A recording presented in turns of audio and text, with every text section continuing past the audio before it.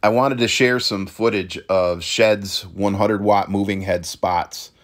There's a number of reviews of these lights from others that are great, and they go through all the details about gobos and prisms.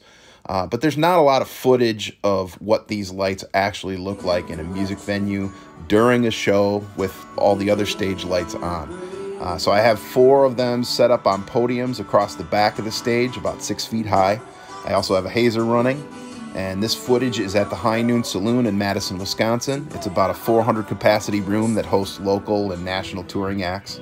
The artists in this footage are Paul Mitch and the band Finding North. Check out their music, it's, it's awesome. Um, the installed lights at the High Noon, uh, they have eight Chauvet LED PARs flown across the back.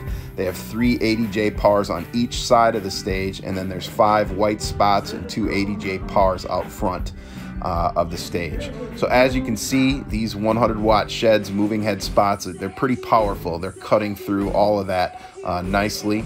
I highly recommend them for bands, DJs, and installed in venues. You can click the link in the description. It'll take you to Shehds site and you can order some for yourself. Hope you found this helpful.